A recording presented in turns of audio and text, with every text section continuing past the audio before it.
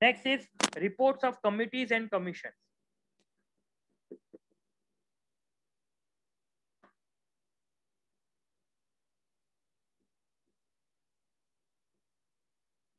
Reports of committee and commission election commission होता है, ठीक है?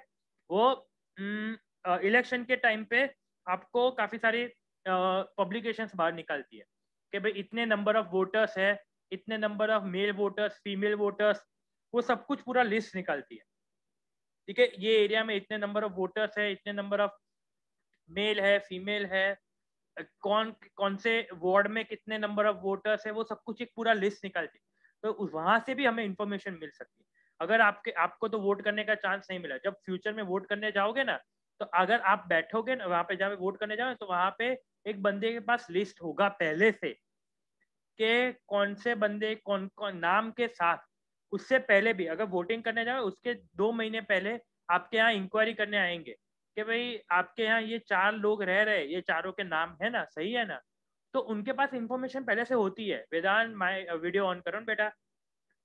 ओके तो कमिटीज और कमीशन ये ये ऑन ये पहले से डेटा निकल रख, रखती है, आपको वहाँ से कॉपी पेस्ट करना है। That's it clear got it commission मतलब कमिटीज और कमीशन मतलब इलेक्शन कमीशन ऐसी बहुत सारी कमिटीज है पूरे इंडिया में जो जो ऐसे इंफॉर्मेशन निकलती है जब कोई ना कोई इवेंट आने वाला होता है और वहाँ से हम इंफॉर्मेशन निकलवा सकते हैं तो भी सेकेंडरी डेटा ही बोलेंगे उसको।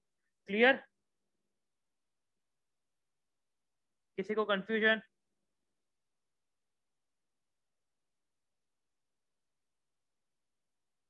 ओके okay, चलो आगे। Publication of trade association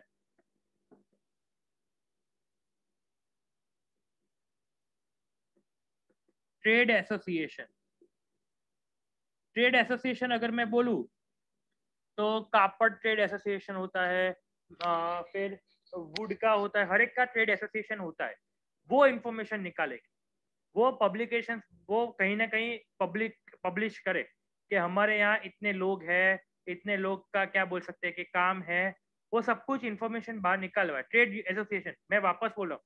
कौन से ट्रेड एसोसिएशन होते थे क्लोथ का ट्रेड एसोसिएशन होता है वुड का ट्रेड एसोसिएशन होता है एम्प्लॉयज़ का ट्रेड एसोसिएशन होता है गवर्नमेंट एम्प्लॉयज़ का बैंक एम्प्लॉयज़ का होता है सेंट्रल गवर्नमेंट एम्प्लॉयज़ का होता है तो ये सब ट्रेड एसोसिएशन में वो खुद इंफॉर्मेशन बाहर निकलती है, कोई भी कहीं पे लिखती है तो वहाँ से हमें डेटा मिल सकता है। ओके क्लियर ट्रेड एसोसिएशन कहाँ से निकाले हुए, पता चल गया ना? अलग अलग टाइप ऑफ़ ट्रेड एसोसिएशन मैंने बोले, इसमें एग्ज़ाम्पल दिया शुगर मिल है या फिर क्लोथ एसोसिएशन, वुड वुड का, वुड की पूरी की पूरी एसोसिएशन होती है। Government employees, bank employees, central government employee ये सबके एसोसिएशन होते हैं और वो वहाँ से इंफॉर्मेशन निकलवाए, निकले तो उसको हम लोग सेकेंडरी डेटा बोल सकते हैं। वहाँ से कॉपी पेस्ट किया तो ओके okay? किसी को कंफ्यूजन ट्रेड एसोसिएशन में okay next is publication of research institution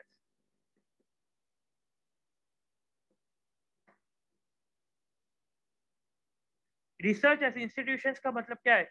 कोई काफ़ी सारी इंडिया में कंपनीज़ है जो रिसर्च पे ही काम करती है। आर एन डी करती है, सिर्फ़। रिसर्च एंड डेवलपमेंट डिपार्टमेंट होता है। ठीक है? अब जैसे वैक्सीन के लिए वो लोग आर एन डी डिपार्टमेंट था। जब वैक्सीन लॉन्च होने वाले थे ना, उससे पहले उन्होंने छह महीने बहुत काम किया। उन्होंने वो देखा कि भाई रिसर्च कहीं पे कहीं ना कहीं रिसर्च करे, जिससे पता चले कि हमें कौन से कौन सी वैक्सीन हमारे लिए हेल्पफुल रही। अब वो उन्होंने जो मिक्सिंग किया जो वैक्सीन जिससे बनती है, उसका डेटा बाहर निकला, बाहर पब्लिश किया। इससे फ़ायदा क्या होगा कि किसी और कंपनी को बनानी है। अभी तो क्या है इंडिया में कि गवर्नमेंट के थ्रू ही परमिशन देनी पड़ेगी आपको। वैक्सीन बनानी है ना तो गवर्नमेंट के थ्रू ही बनानी पड़ेगी। आप खुद नहीं बना सकते। गवर्नमेंट ने बोला कि हाँ आपकी कंपनी को परमिशन है तो आपको मिलेगी, बाकी नहीं मिलेगी। ओके? तो वो वैक्सीन का डेटा बाहर आता है, आप उसको यूज़ करो और आपकी खुद की वैक्सीन बनाओ और गवर्नमेंट के पास लेके जाओ कि हमने ये वैक्सीन बनाई है, आप ट्रायल लो, ठीक है? आपको, हमारे पास ये डेटा है, आप चेक करो। अब वो कॉपी पेस्ट करती है तो ठीक। अगर जैसे मैंने बोला कि अभी जो वैक्सीन मार्केट में अवेलेबल, उन्होंने बाहर निकाला और किसी ने वहाँ से कॉपी पेस्ट किया तो उसको हम लोग सेकेंडरी डेटा बोलेंगे। क्लियर रिसर्च इंस्टीट्यूशन का मतलब पता चल गया। यस सर ओके चलो जर्नल्स एंड पेपर्स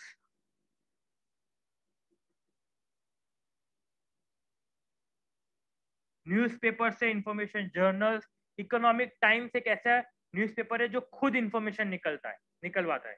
खुद जाता है, खुद इंफॉर्मेशन निकलवाता है। तो ये सब चीज़ में उसको, हम वहाँ से इंफॉर्मेशन हम कॉपी पेस्ट करें तो उसको जर्नल्स एंड पेपर्स बोल सकते हैं। ठीक है? मेडिकल रिसर्च होता है। मेडिकल इंस्टीट्यूशन होते हैं बहुत सारे, ठीक है? मेडिकल वो लोग अपना इंफॉर्मेशन खुद निकलवाते हैं, ठीक है? खुद एक पब्लिकेशन बाहर निकलती है। सी ए इंस्टीट्यूशन है तो सी ए का भी एक पूरा का पूरा बुकलेट आता है एवरी मंथ अगर आप मेंबर हो तो आपको वहाँ आपके घर पे आएगा तो वो पूरा का पूरा हम वहाँ से इंफॉर्मेशन निकलवा सकते हैं। वो लोग कुछ ना कुछ पब्लिश करते रहते हैं, वहाँ से भी इंफॉर्मेशन हमें मिल सकती है। ओके लास्ट टू है research scholars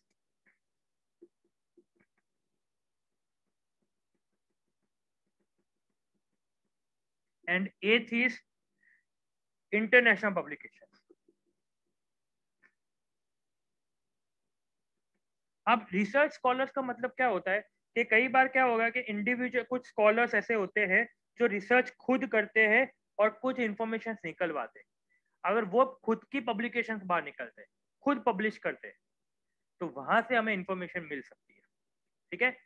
जैसे फॉर एग्ज़ाम्पल मैंने मेरे एक पूरा का पूरा सर्वे मैंने खुद कंडक्ट किया और मैंने इसको सोशल मीडिया पे अपडेट किया।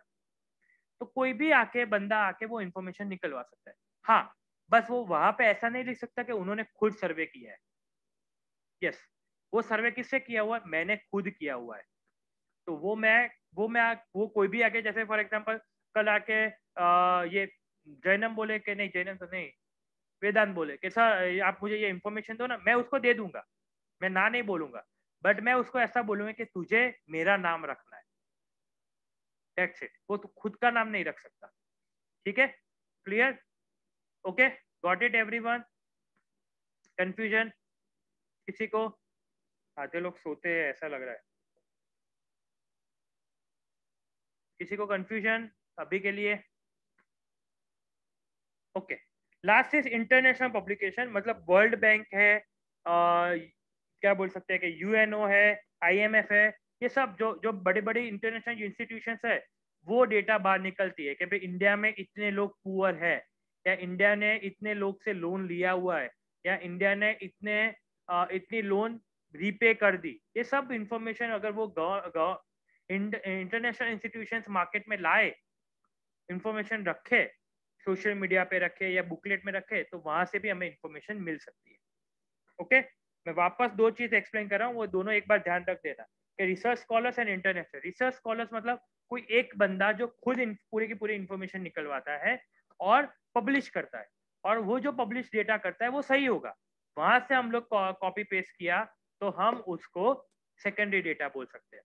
सेकेंडली इंटरनेशनल इंस्टीट्यूशन कोई भी बड़ी बड़ी इंस्टीट्यूशन है इंटरनेशनल इंस्टीट्यूशन जो ये डेटा को कॉपी पेस्ट करती है, ठीक है? फ़र्स्ट ऑफ़ ऑल इश्यू करती है पब्लिश करती है और वहाँ से हम कॉपी करते हैं कॉपी पेस्ट करते हैं। उसको हम लोग इंटरनेशनल इंस्टीट्यूशन पब्लिकेशन बोल सकते हैं। ओके अब किसी को डाउट हो तो वेट पूछो, वरना मीटिंग लेफ़्ट कर सकते हो। ये आज का